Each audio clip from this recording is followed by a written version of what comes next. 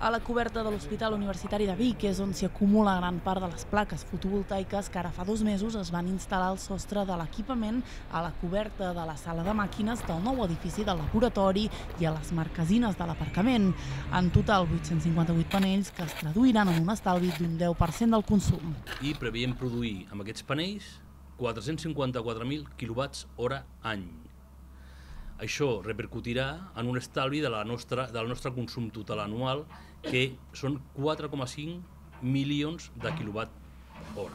Una instal·lació que també llueix a la coberta de l'Hospital Sant Jaume i a la residència Aura de Manlleu, on s'hi han establert 641 panells. Amb aquesta posta a Manlleu s'hi espera una reducció del consum del 24,6%. Hem instal·lat 641 panells solars fotovoltaics que ens donen una potència pic de 200,91 quilowatts i una reducció del consum o una producció de 364.000 quilowatts hora any.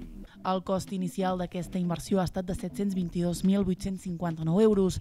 Es calcula que d'aquí 4 anys i mig l'estalvi econòmic anual ascendeixi als 162.325 euros.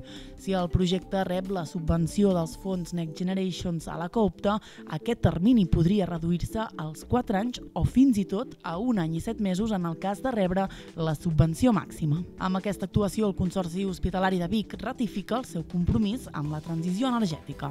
Vetllem pel medi ambient perquè també és una manera de vetllar per la salut de tots. Eh? Entenem que l'impacte que nosaltres fem al nostre entorn, mm, millor o pitjor, pot incidir amb, amb, amb les persones de l'entorn. Per tant, preocupant-nos de les nostres emissions, dels nostres residus, dels nostres consums energètics, de la nostra utilització de productes químics, etc etc etc, és important per vetllar per aquest entorn. El consum d'electricitat als diferents centres del Consorci Hospitalari de Vic està associat a l'enllumenat, als sistemes informàtics i als equips mèdics, però sobretot a la climatització.